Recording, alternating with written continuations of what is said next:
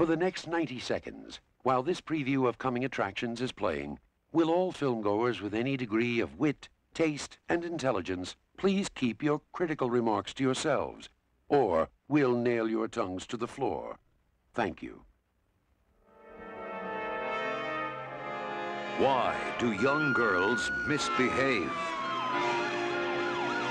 Is punishment the answer? Welcome to our country club, ladies. This is the last stop on your tour. Here they are, the loveliest girls in the history of socially conscious cinema. Reform school girls. My name's Edna. Some of the girls call me Eddie. I like that. Some are innocent, but not for long. Some refuse to be degraded for about 10 seconds. Your time is doubled. So's your chin.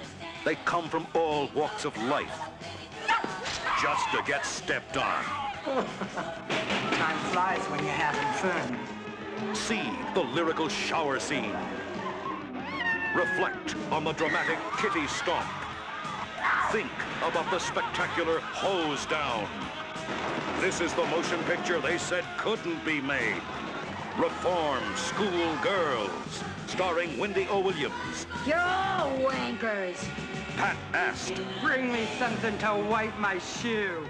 Linda Carol, Killing murder! and Sybil Danning as Warden Sutter. You'll treasure the heroic saga of young ladies and their struggle for respect, decency, and a warm place to take a shower.